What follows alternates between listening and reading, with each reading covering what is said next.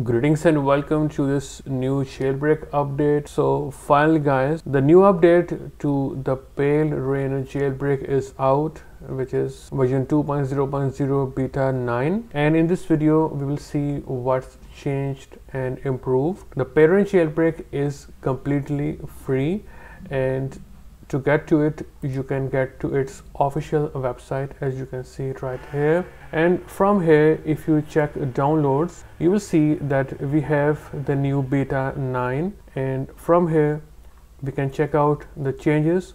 So yes finally it fixes your app store apps crashing on iOS 17.0 or higher or 17.3 or higher specifically and it has some improved handling added the functionality to download packages within the online configuration and so on.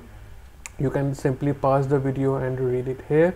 Also we have some improved logic for safe mode and reboot and we have some platform patch fix for iOS 16 and some improved handling. Now to use it on Linux you can simply head to assets and get files to use it on Linux. So mostly you will need this file for Linux.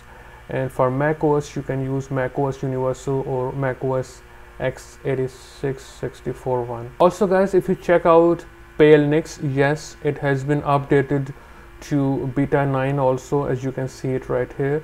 I'm at the official github page for Palen1x and if I scroll down I will see the latest release here which has been updated to support the new beta 9 and you can simply get the ISO from here and then use either the Balena Etcher which is completely free or the Rufus to write the ISO onto your USB flash drive and yes Rufus is also completely free so you can easily jailbreak your device on your Windows PC. If you don't know the guide to the Palen1x is in the description that will work on all your Palera1n supported versions. Also, even if you have an Intel CPU, you will use this file. All right, it is AMD 641, but it would work just fine. This update now only includes binaries.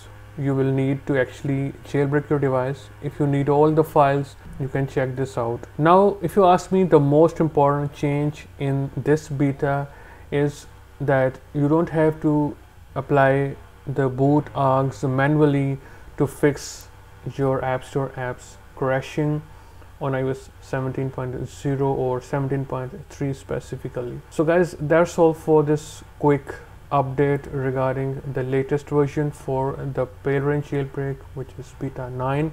If I have more information to share, I will definitely do it with you. I will see you in a new video. Goodbye and take care.